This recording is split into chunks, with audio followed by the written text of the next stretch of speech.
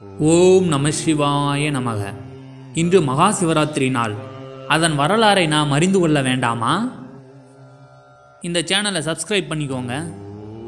ஒரு நாள் பார்வதி தாயார் அப்பன் ஈசனிடம் விளையாட்டாக கண்ணை மூடி விட்டதால் இந்த உலகமே இருளாகி போனது.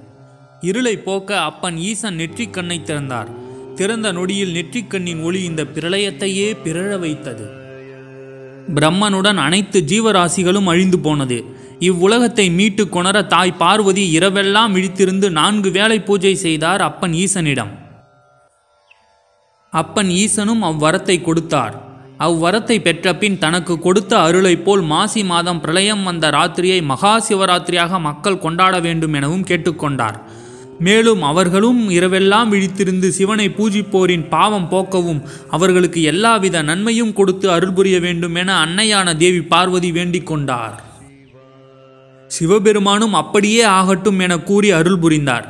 அந்த இரவே மகா சிவராத்திரியாக இன்றும் வரலாறாக கொண்டாடப்பட்டு வருகிறது. இரவில் நான்கு ஜாம காலத்தில் குறிப்பாக இந்த இரவு பதினொன்று மணியிலிருந்து ஒரு மணி வரை சிவபெருமானை வழிபாடு செய்வது மிக மிக சிறப்பான காலமாக சொல்லப்பட்டுள்ளது. இந்த நேரத்தில் தான் முப்பத்து முக்கோடி தேவர்களும் ரிஷிகளும் சிவபெருமானை வழிபடக்கூடிய நேரம் என்பது குறிப்பிடத்தக்கது. உங்களால் முடிந்தால் சிவராத்திரி அன்று எந்த நேரத்தை தவறவிட்டாலும் இந்த இரவு நேரத்தை மட்டும் தவறவிடாதீர்கள். இதைத்தான் லிங்கோத்பவ காலம் என்றும் சொல்வார்கள்.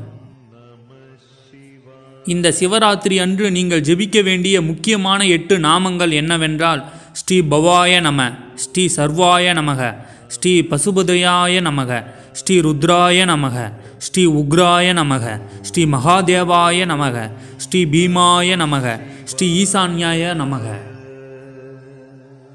மகா சிவராத்திரி நாளன்று சிவபுராணம் பஞ்சாட்சரம் கோளறு பதிகம் இவை போன்றவற்றை நாம் பாடும்போது அவற்றில் கிடைத்த பலனானது நூறு மடங்கு மென்மேலும் அதிகமாக பாடிய பலன் கிடைக்கும். பார்வதி தேவி போல் நாமும் இரவில் கண் விழித்திருந்து இந்த நாமங்களை கூறி சிவனை வழிபட்டால் நம்முடைய பாவங்கள் விலகி நம்முடைய வாழ்வில் முன்னேற்றத்தை பெற முடியும். ஓம் நம சிவாய நமக. எல்லா உயிர்களும் இன்புற்று வாழ்க.